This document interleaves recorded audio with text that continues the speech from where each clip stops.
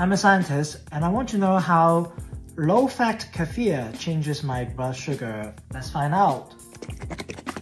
Kefir is a fermented dairy product made by adding bacteria and yeast cultures to milk. Plain kefir without added sugar has a tart and tangy flavor and slightly carbonated. Although it is not lactose-free, lactose is reduced during the fermentation process. You can also find other kefir products made with juice and coconut water or milk. My blood sugar only went up slightly by about 20 mg per deciliter. A 2015 small study showed that diabetes patients who consumed kefir had significantly lower fasting blood sugar levels than those who consumed other fermented milk. A 2020 review suggests that kefir may have a range of benefits for people with diabetes and obesity. However, larger scale research is needed to support these claims. Remember, if you have diabetes, your results may vary. Follow to learn more about food and blood sugar.